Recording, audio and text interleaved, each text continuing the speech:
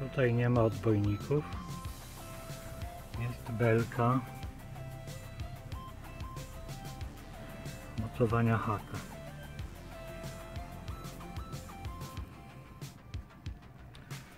Belka przychodzi na ten górny otwór.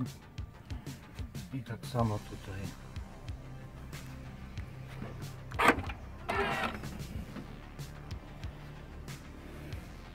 Przykręcone jest od środka. I tu.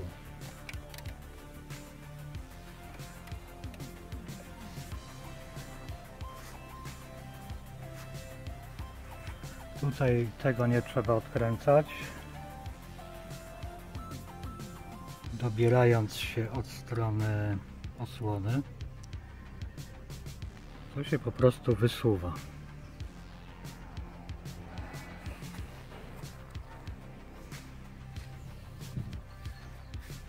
I tu też wysuwane. Są te uchwyty.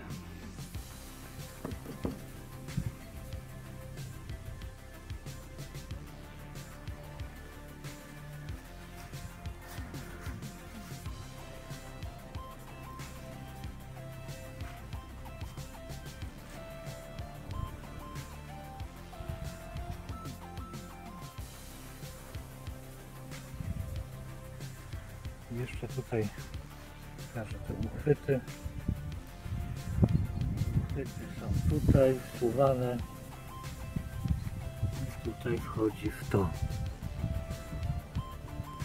Tu.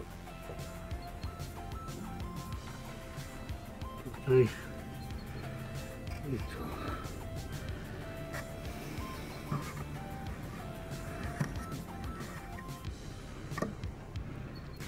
To wszystko. Belka haka jest zamontowana. Teraz tylko wystarczy wsunąć zderzak. Zostały jeszcze po dwie śruby z każdej strony. Gotowe.